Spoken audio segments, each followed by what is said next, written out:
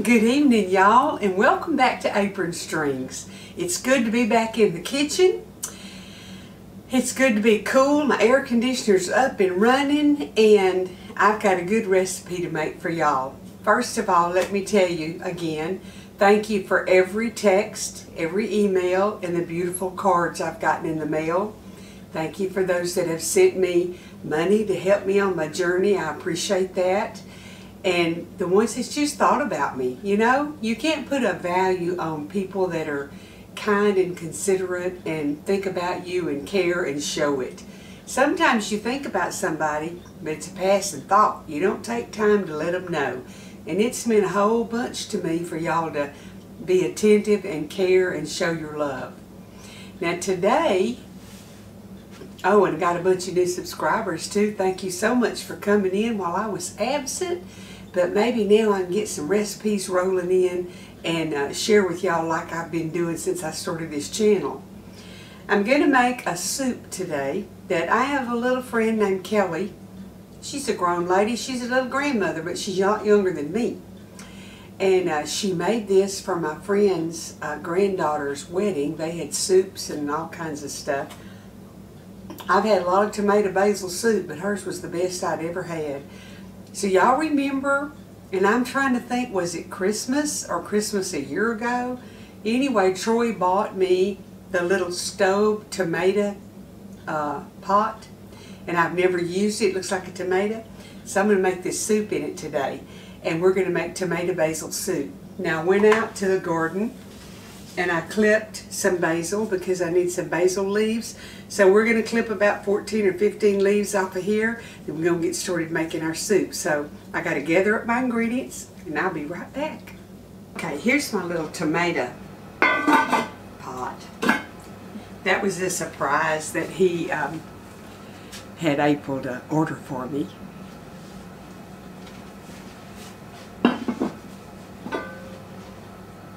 and I'm missing.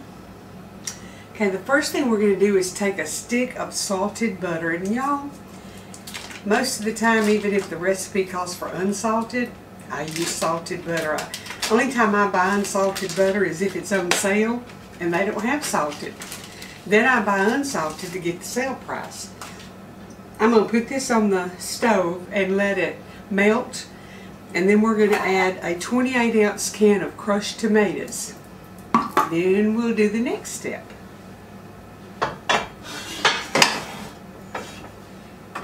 And I just want it to melt. I don't want it to brown. So I'm going to have it on low.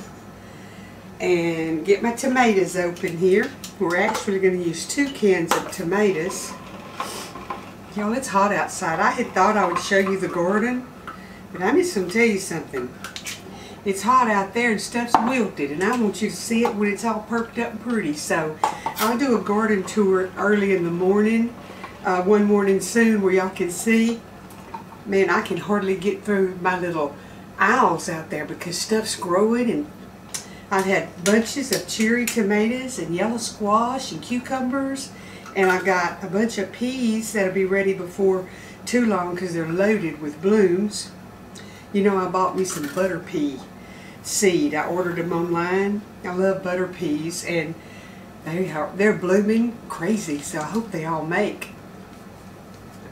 Get this butter melted and get this soup made, and I think, I think I'm going to make some cornbread to go with it. I think I'm going to do broccoli cornbread. I think I've done a video on that before, but just in case I haven't, I'm probably going to do a video where y'all have it if you want to make your basil soup and your cornbread. Of course, they'll come out on a couple of different days, but you'll have both recipes handy. So let me, do y'all see what I did different in here? There's no spices here.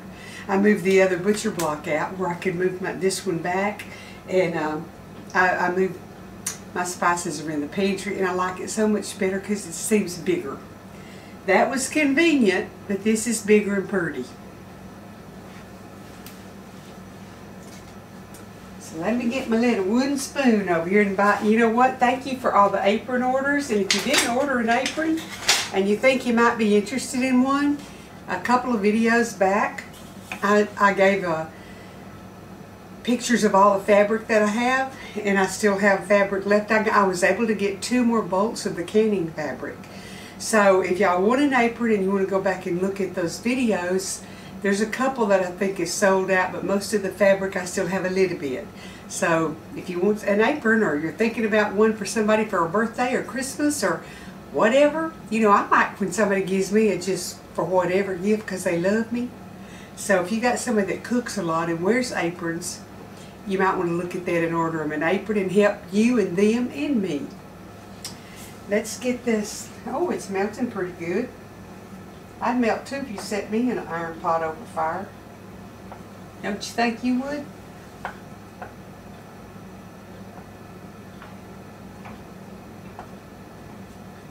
That melt, but right quick, I'm going to need about 14 basil leaves. And I went out and picked it.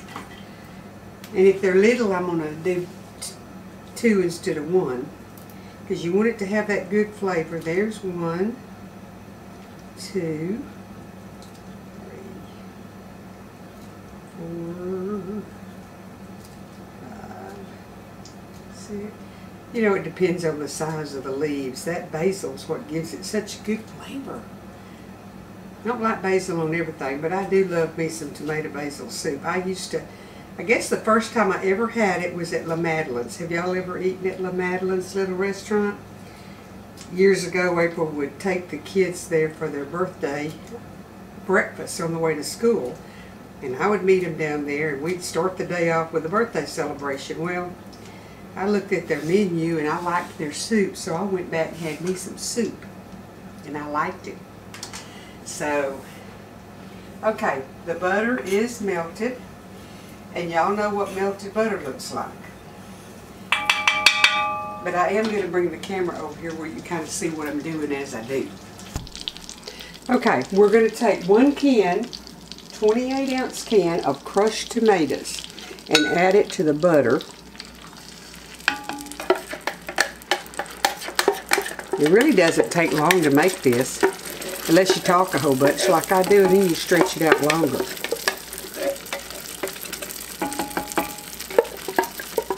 Doesn't matter what brand of tomatoes you use. These were on sale. And somebody said they were the best. So while they were on sale, it was equal to what I usually buy. I try them.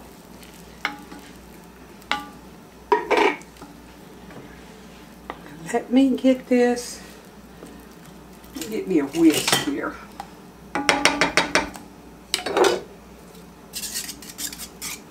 Because I want it to mix really good. Then I'm going to just let this simmer while we go over to the uh, Cuisinart food processor and whiz up uh, some stuff to go in it.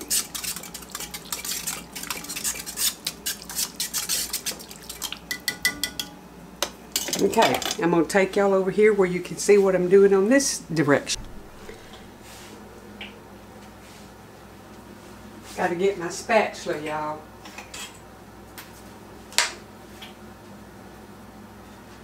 Okay, into the food processor, I'm going to put another can of the crushed tomatoes.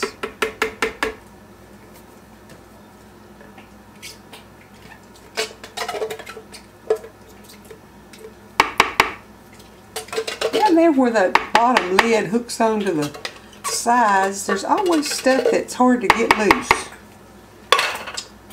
But I can do that. Okay, and then we want to add in our basil leaves. Let me cut this down to a simmer over here.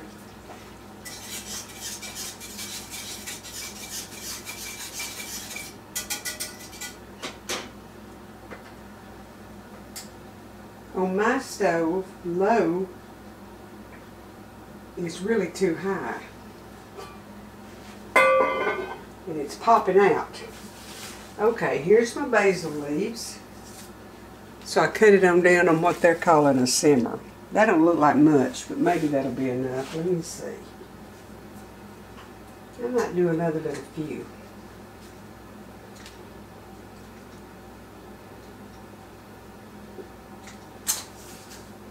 Because some of those were small. Alright, I'm going to whiz those up.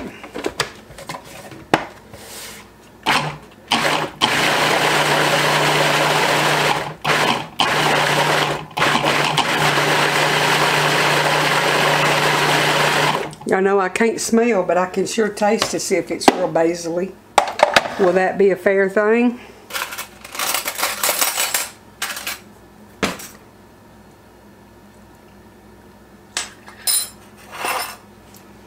It's pretty good. I'm going to have to put some salt and pepper in it, but I can do that.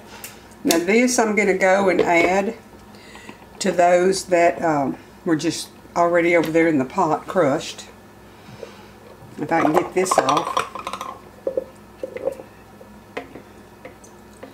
Either it sticks or I'm getting older and weaker. I don't know what it is, but I'm not claiming that older and weaker. I just don't claim it's stubborn and sticks. I really don't mind age. I just don't like the side effects. Okay, turn y'all off and move you again. Okay, I'm gonna turn that to a low since I'm back over here where I can watch it.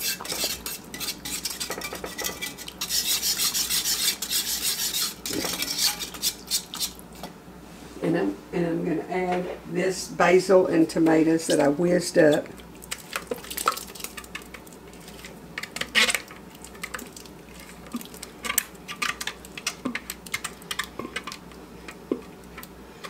I got woke up this morning at 6.15. My alarm system said that one of my doors in the sunroom was open. Well, we never used that door.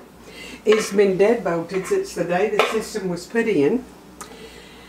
I got up, went out there and checked it, and of course it was not open.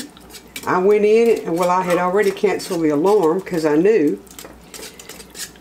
And you couldn't cancel it. It wouldn't let me cancel it. So I called ADT and this little guy ran me through 30 minutes of doing this and taking the battery out and letting it wait and never did resolve it.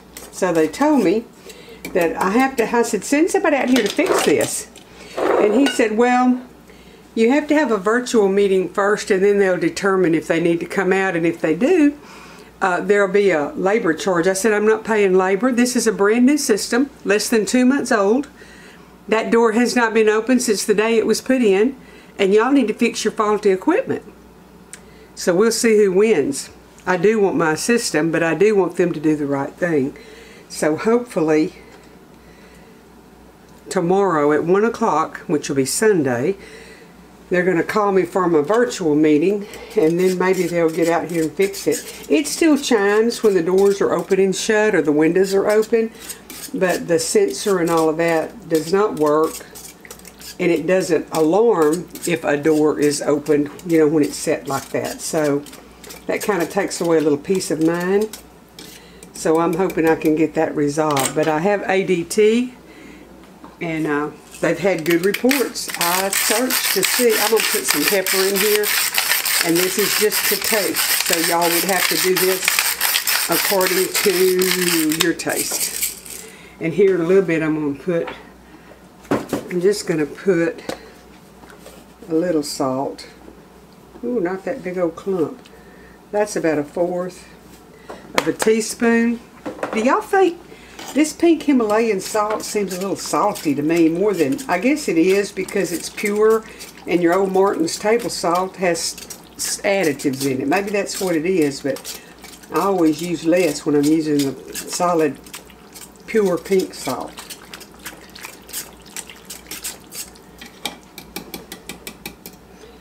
Alright, let me taste again. What you do with my spoon? Uh,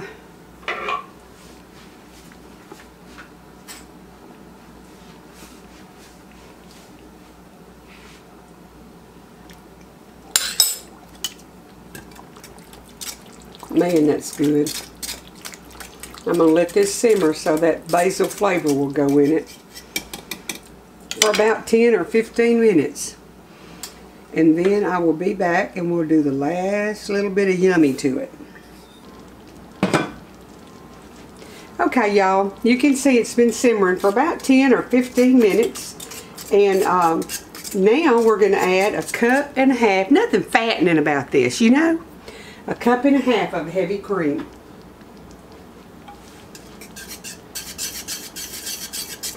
And I'm just going to drizzle it in and stir it. Then it's going to get that yummy, pretty pink color.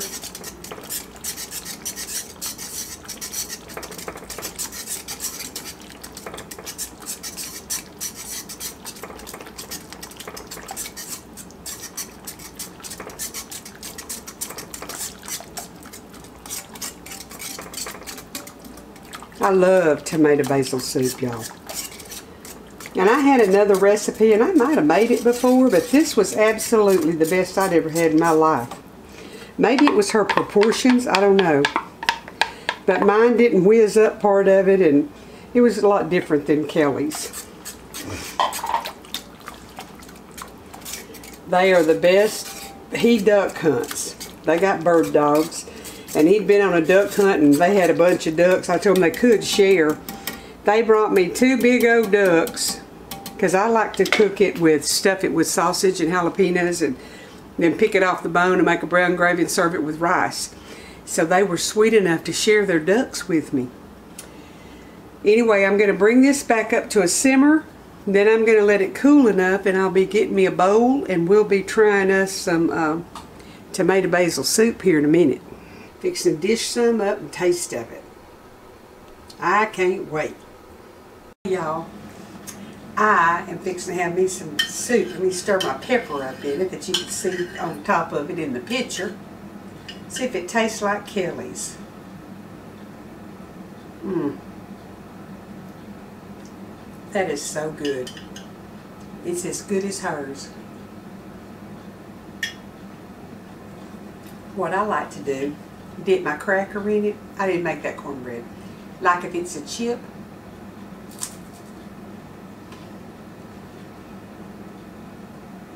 Mm. That's very good. You need to make you some.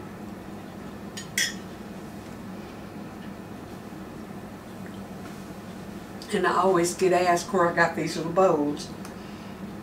And I ordered them from a little magazine that comes in the mail.